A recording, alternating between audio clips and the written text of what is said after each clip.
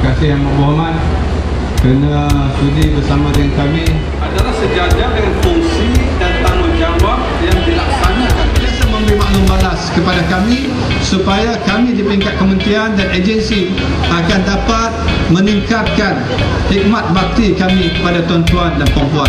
dan memastikan keadaan jalan kita pada keadaan selamat, selesa untuk digunakan. Jadi, dari dulu iaitu Yang Berhormat Datuk Seri Fadila Yusof Menteri Kerja Raya bersama dengan Yang Amat Berhormat Timbalan Perdana Menteri dan juga Datuk yang dirasmikan oleh Datuk Seri Samuddin Tun Hussein